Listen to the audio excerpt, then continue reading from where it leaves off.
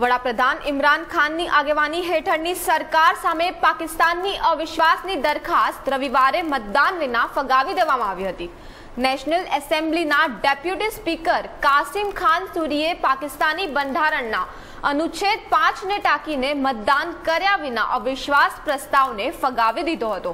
સુરીએ આજે એવા સમયે ગૃહનો હવાલો સંભાળ્યો જ્યારે વિપક્ષે નેશનલ એસેમ્બલીના સ્પીકર અસદ કૈસર સામે અવિશ્વાસની દરખાસ્ત રજૂ કરી. સાથે જ સંસદને પણ પચીસ એપ્રિલ સુધી સ્થગિત કરી દેવામાં આવી છે.